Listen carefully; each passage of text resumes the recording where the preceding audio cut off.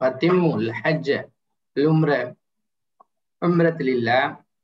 In complete, so from 196 verse, we are going to deal about topic of Hajj. Some of the salient instructions relevant to that is being portrayed. I'm not a right person to elaborate much on this because I didn't do Hajj yet. So whatever that little knowledge that I have, we'll try to convey with that. So that with that intro, we'll just start off with this. Fatimu and complete will Hajj.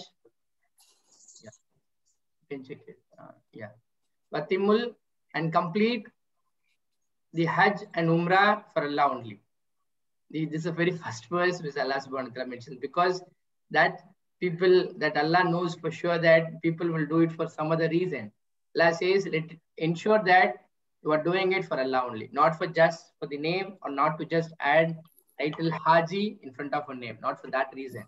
But it has to be done precisely for Allah only. Fine, and if you are held back, I just want you people to uh, respond in the chat so that we will understand these verses better. What do you understand by the word held back? Then if you are held back, then whatever is easy of the offering, which means you are supposed to do an offering hadiyah, either a goat or a cow or a camel, fala tahliqu, and not you shave your heads. I repeat the question. What do you understand with the word held back? Hatta, until reaches the hadiyah, I mean the offering sacrificial animal, its sacri its destination. Mahilla is its destination. Mohalla bolte na Urdu. Mohalla, which means the place where you live in. Yeah, you are right. Which means for some reason, because it is a travel, that too, the five days, five days is the crux of the period. Right from the 9th of Dhul Hajj to 13th of Dhul Hajj is the only day in the calendar year you can perform this Hajj. So people have to now migrate or do travel from different parts of the world and they should organize themselves to reach this place well before these dates. And not only coming and then going back is also there. So it's a huge travel. Now we have a lot of facilities, but still the travel is most difficult part. For some reason, your travel got disturbed, your travel plan got disturbed, and you could not reach it at the right time. That is what Allah, because we know when we do travel, we will be at lot of panic, lot of confusion, we will be at mental stress. We are very bothered about our baggages, luggage, and the people who come along with us. Lot of pressure, lot of stress. So that's why Allah wanted to ease and you have nothing to worry. If that something is happening beyond our control, which is not in our control, Allah is telling, don't, don't bother about it. You continue, you can always do an, a for that and then get it right. So nothing to panic, even if you miss it. Is the, is the train, because it is a, is a word, a word of compassion that is coming from Allah. And further, until you reach the place, you are not supposed to shave your heads. It is one thing. Then, whoever is among you, for example, they were supposed to shave the heads. Even there you find it's a small ibadat to be done there. But still, even there, Allah subhanahu wa ta'ala gives some exceptions. And whoever is among you, marizan, sick, or bihi, or with him, or for him, injury of the head. Injury of the head. Then there is a fidya for that. For not, you are allowed to be exempted from doing shaving of your head. That's what, for the fidya of it is Siam. Siam is fasting. Either you can fast for three days or sadaqah or do a charity for six people or nusukin or clothe them based on your capacity, based on your capacity. Faiza,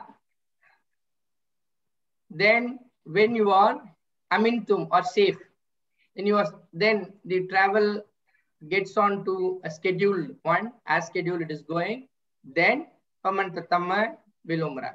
Then whoever does voluntarily umrah, Tamatta took advantage for doing Umrah, that has also been uh, accepted. And I repeat for your information, this Hajj is not a practice which is being introduced by Prophet. But this is a practice that was there right from the day Ibrahim started constructing Kabatullah. We find from some of the hadiths that every prophet has visited Kabatullah and did Hajj. And which means that this is long, long, long years before. Before coming Prophet ﷺ, this was there with Arabic culture. So these people had a bad thought or bad information that Umrah should not be performed along with the Hajj. Now Allah is clarifying that you are allowed to do. Today we see it as a practice. People who goes much before, then these days we'll do Umrah and then and then will remove their ihram and then will and then we will they will get ready for Hajj with the second second ihram.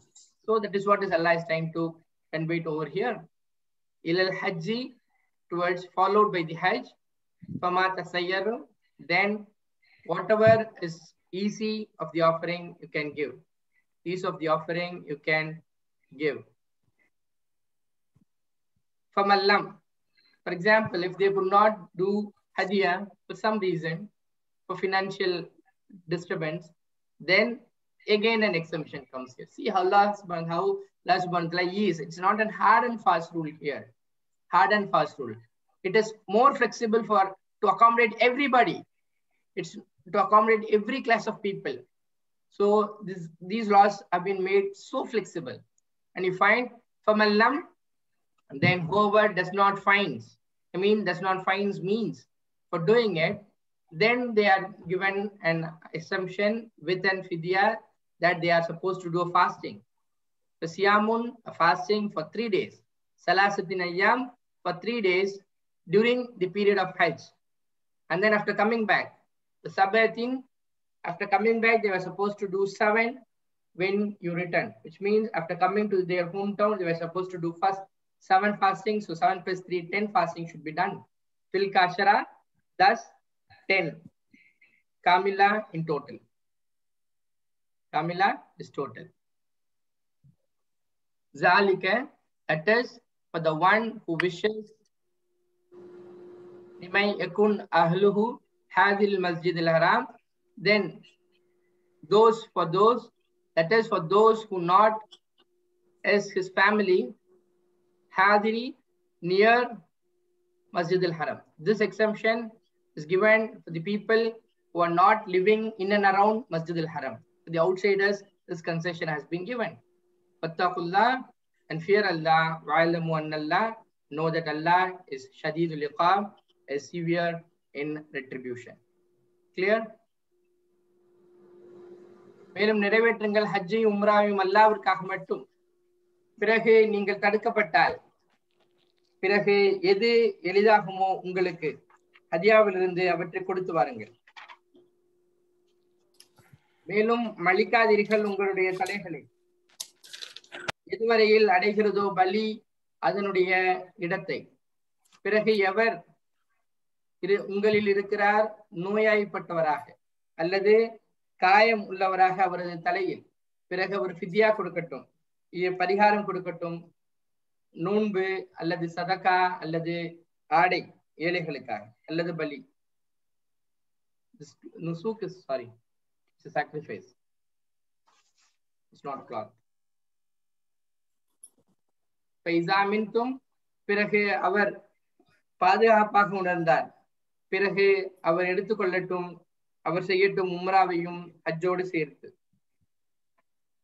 பிறகு எது சாத்தியமானதோ பலிவினங்களிலிருந்து அதையும் கொடுக்கட்டும். பிறகு எவர் சக்தி பெற மாட்டாரோ அதற்கு பிறகு அவர் நோன்பு நோக்கட்டும் மூன்று நாட்கள் ஹஜ்ஜுடைய காலங்களில். மற்றும் ஏழு நாட்கள் அவர் திரும்பிய பிறகு. இவ்வாறே மொத்தம் பத்து நாட்கள் பூர்த்தி செய்யப்பட. இதுவே அவருக்கு எவருக்கு இருக்கவில்லையோ அவருடைய குடும்பம் அருகாமையில் மஸ்ஜிதில் ஹராம் பின் அருகாமையில் இருக்கவில்லையோ அவர்களுக்கு மாத்திரம் இந்த கன்செஷன் மேலும் அல்லாவை அஞ்சு கொள்ளுங்கள் மேலும் அறிந்து கொள்ளுங்கள். அல்லாஹ் நிச்சயமாக மிக கடுமையானவன் தண்டிப்பதில். ஹஜ்ஜி உம்ராவையும் எப்படி நிறைவேற்றணும்? உம்ராவை ஹஜ் செய்யும்போது நிறைவேற்றலாமா அப்படிங்கிற சந்தேகத்துக்கான விளக்கமும் இந்த ஆயத்தில் கொடுக்கப்பட்டிருக்கு. அல்லாவுக்காக ஹஜ்ஜையும் உம்ராவையும் நிறைவேற்றுங்கள். ஆனால் நீங்கள் தடுக்கப்பட்டால் பலிப்பிராணிகளில் அதாவது குர்பானி உங்களுக்கு சாத்தியமானதை பலிப்பிராணி தனக்குரிய இடத்தை அடையும் வரை உங்கள் தலைமுடியை மலிக்காதீர்கள். ஆனால் உங்களில் யாரேனும் நோயாளியாக அல்லது தன் தலையில் ஏதேனும் பிணி உள்ளவராக இருந்தால் அதற்கு பரிகாரமாக அவர் நோன்பு நோற்கவோ தர்மம் செய்யவோ குர்பானி கொடுக்கவோ வேண்டும். மேலும் உங்களுக்கு பாதுகாப்பாக உணர்ந்தால் ஹஜ்ஜுடைய காலம் வருமுன் நீங்கள் மக்காவை அடைந்துவிட்டால் அவ்வாறு அடைந்தவர்களில் எவரேனும் ஹஜ் காலம் வருமுன் உம்ரா செய்ய நாடினால் அவர் பலிப்பிராணிகளில் தனக்கு சாத்தியமானதை குர்பானி கொடுக்க வேண்டும். பலிப்பிராணி கிடைக்கப் பெறாதவர் ஹஜ் காலத்தில் மூன்று நாட்களும் வீடு திரும்பி விட்ட பின்னும் ஏழு நாட்களும் நோன்பு நோற்க வேண்டும். மொத்தம் பத்து நாட்கள் நோன்பு நோற்கணும். இப்படி முழுமையாக பத்து நாட்கள் நோன்பிருத்தல் வேண்டும். இது எவர் மஸ்ஜித்துல் ஹராமுக்கு அருகில் குடியிருக்கவில்லையோ அவருக்கில்லை. அல்லாவுக்கு அஞ்சி அவனது கட்டளைகளுக்கு மாறு செய்யாமல் வாழுங்கள். திண்ணமாக அல்லாஹ் கடுமையாக தண்டிப்பவன் என்பதை நன்கு அறிந்து கொள்ளுங்கள். ஹஜ்ஜுங்கிறது நபிகள் நாயகம் சல்லா அலைவசல்லம் இருந்த காலத்தில் உருவாக்கப்பட்டதில்லை. இப்ராஹிம் அலைசல்லம் எப்போ காபா கட்டினாரோ அப்போலிருந்தே ஹஜ் இருக்குது அப்போலிருந்தே ஹஜ் நிறைவேற்றப்படுகிறது.